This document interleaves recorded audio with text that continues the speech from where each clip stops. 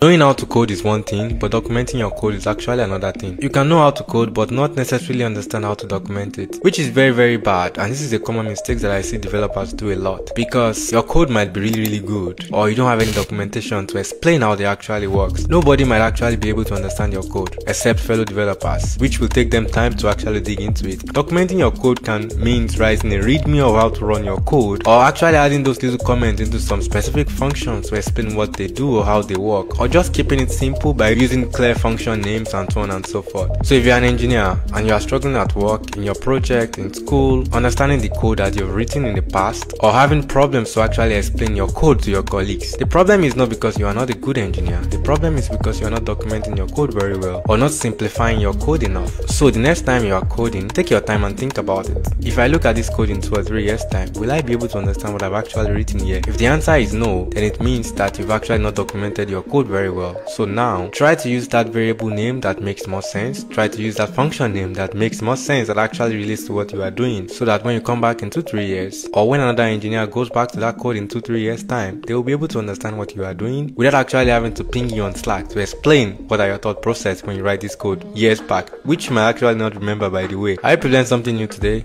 and see you on the next one.